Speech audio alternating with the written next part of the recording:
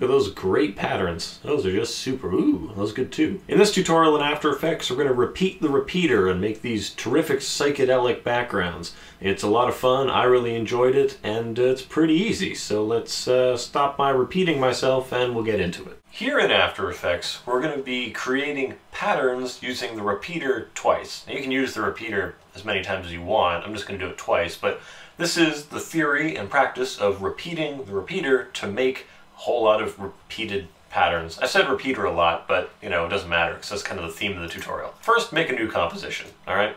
This is called Comp 2. It is HD TV 1080 24 frames a second. None of that matters, except when I start calling out values, just remember they are relative to my frame size. I'm going to make a new solid, make a background. Um, you know, not very saturated. Yeah, that's fine. That's a really gross looking green. Now, I'm going to make a new shape layer. You make a shape layer by going new shape layer. You can just uh, double click up here. I need a rectangle, so I'm just going to double click on that. All shape layers come with the fill and stroke of the last time you used a shape layer. I don't know what I was doing that required these settings, but I'm sure it was pretty great. Here in the rectangle, uh, we have within contents, and then within the group called Rectangle 1, we have Rectangle Path 1, a stroke, a fill, and transform options for that group. What I'm going to do is first go into the rectangle here, and I'm going to unlink these, and then set this to be a square. So that is now a square. Wicked. I'm knocking this out of the park. Now I'm going to take the fill here, and I'm going to set it to no fill, so it's just the stroke, and then I'm going to change the stroke here to be um, be less saturated, maybe more brighter, I don't know. I guess we're going for a merry toothpastey Christmas here, so let's stick with that. Okay, cool. Some nice muted tones. And now we're going to set some keyframes. So the keyframes I'm interested in setting are going to be about the size of this thing. So I want it to be a square that goes from zero and then one, two, and then maybe 30 frames later we're at, uh, I don't know, 150 large. That works for me.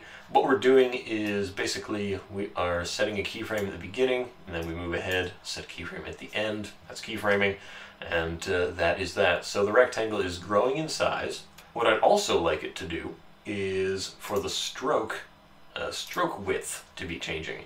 So at the end I want the stroke width to be zero and oddly enough at the start I want the stroke width to be zero. So I'm setting keyframes there. And then in the middle, I like the stroke width to be like 50. So it's uh, getting larger and then smaller. So it looks kind of like that. I'm going to take all these keyframes, I'm going to easy ease them by hitting F9, or you can go animation keyframe assistant easy ease, whatever, however you want to do that, I don't care. Then we're going to go into the graph editor here, click on the size, select those and give them a different curvature to how that looks. So we're taking the handles, the influence handles of this keyframe here, we're dragging them this away towards the beginning to create a different look to the motion. Cool. And then the stroke width, I'm going to select those keyframes, you know, and then we're going to take this keyframe and we're going to change it to be one of these types of keyframes. And then we're just going to move it a little bit this way. All right. So that's uh, looking neat, I think. I'm going to drag this handle out like so. Try to make this smoother. There we go. So we're smoothing that out. Cool. I think that looks looks better than it did before. I mean, it's not great, but it's okay. So anyway, that's a square. It's doing some stuff. Cool. Now, what I'm going to do is I'm going to take this, take that rectangle, and I want to repeat that rectangle. So I'm going to go add a repeater. Boom. So the repeater is now repeating everything above it, meaning it's repeating everything in this rectangle. Okay, so that's that's working out for me. Now I need to change the properties of that repeater. So for example, I want, you know, way more copies. You know, I want them to be transforming a little bit differently like this perhaps. So I want them to be, you know, spaced out more. And the offset, it'll say which of these is the original. So I'm going to set that to minus 5 and copies 11, which means out of 11, you know, minus 5, it puts the middle back in the middle. Cool. So what that repeater does is it repeats everything, including the animations, so that's good, and it repeats everything above it. So if we change something about the rectangle, for example, the transform in here, we're able to change the rotation of these to be like this. So put that at 45 degrees. Everything is now changed to look like a pretty ugly sweater. So that's pretty cool. I mean, I'm into this look. I'm into ugly sweaters. I wear ugly sweaters when it's not even Christmas, you know? I just call them sweaters. So I want that position to be, you know, kind of like this, right at the edge. Boom. Cool, cool, cool. So I'm feeling, feeling how that's going. Great. So we've got the one repeater working just fine. We're going to duplicate that repeater. We go into its properties, and we're going to basically take 215, change to 0, then change the 0 here to 215. So that is creating an array like this. So, whoa, look at all of that. That's, that's getting crazy. So there's a lot of stuff going on there and uh, super good. So you get the idea. What this is going to do is create an array of things that are all happening at the same time. So you can kind of get the idea of how we did that transition, right? So we've got this rectangle, which is a stroke. I'm going to duplicate it. I'm going to hit uh, U, which brings up its keyframes.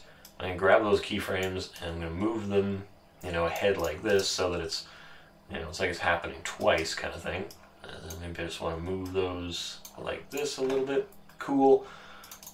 Now I want to make sure that I'm adding a fill, or at least I'm putting fills in here for rectangle 2.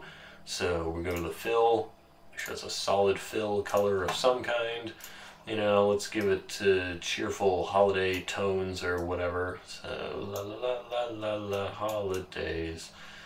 Something something holidays. Alright, maybe like that. I don't really know. Okay, so that comes up and there we go. It ends looking like uh, really the ugliest tablecloth that you have ever seen in your life. Wicked.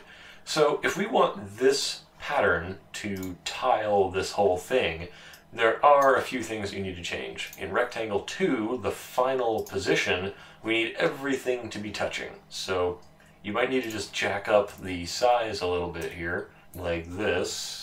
Okay, that's pretty good. 152 might do it, maybe 153. I don't know. In this case, uh, exact numbers are not as important as uh, filling in all of the gaps, all right? So now what I'm going to do is I'm going to duplicate this, and with this duplicated layer, I'm going to move it over so that it fills up the space in between.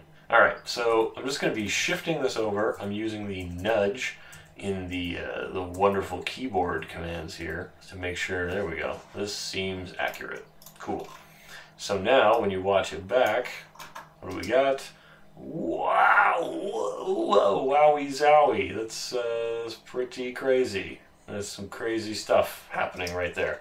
Um, that's how I do it anyway. I mean, you could use repeaters to accomplish all of this within the same layer if you so desire, but I like to do it on two layers, then I can easily just like push them apart like this, and then we have really a lot more undulating, and it's really hurting my brain to stare at that. It's kind of like an optical illusion kind of thing. Like it's, I feel like it's warping, but I know mathematically that's not what's happening. Anyway, this is what happens when you have a lot of moving patterns and stuff going on, but that is the basics of how to create a repeater that repeats along a grid in this way. And you know, you can use it to create, you know, some pretty dicey animations. You create one animation, repeat it horizontally, second repeater, repeat it vertically. Anyway, what if you want to do like the radial repeating thing that I also showed in the intro? So this is part two. The first one was about grids and whatever, and this one is going to be uh, making that circle thing. So I went, I made a new shape layer. It had a circle on it, so let's just uh, double click on the ellipse thing up here. You know, set it to start right around here. That's cool. Uh, we have an ellipse. Go to the ellipse we're going to take the uh, stroke here. We don't need it. Goodbye stroke. The fill here, we need it to be, you know, let's do like a white like this. Okay, cool. That's neat. And the size of this thing, it's going to start at 0, 0, 0, 0. Cool, cool. Uh, link those up. Size and position are what are going to be changing. And these are going to be going from size 0 up to a size 150 or 100 or something. And I'm going to negative 250. Lots of fun. Select all those, hit an F9 to uh, easy ease them. Go to the graph editor, grab those graphs, pull down graphs. Cool. So Singularly, it looks like this. All right, that's, that's neat, I guess, if you're into that sort of thing. All right, whatever. Now we're going to add a repeater to that, okay? What does that repeater do? Well, it's going to have, you know, eight copies. It's transform. We're going to go zero and then da da da da da down into rotation. 360 divided by eight, meaning a perfect circle of them. Cool. And what does that look like? Well, that means that that first thing that we did is then going to be repeated a whole bunch of times. So it looks like this. All right, so far so good. Now we add another repeater to it. So let's repeat that repeater. Boom. Now, the first time we repeated the repeater, ugh, it's getting annoying to say. Anyway, the first time we repeated it, we went translation, translation, right? This time we are not. Let's do eight copies again, and uh, let's go into the transform here, and uh, no, no position. Let's do scale instead. So you see how they go, whoa, crazy, that's so wacky, so wacky what it's doing. When you do this, the scale of each one, so the next iteration is 70% of the first iteration, then the next iteration is 70% of that. So it creates this uh, kind of zooming effect. Okay, now we have the scale going on, let's also have the rotation going on.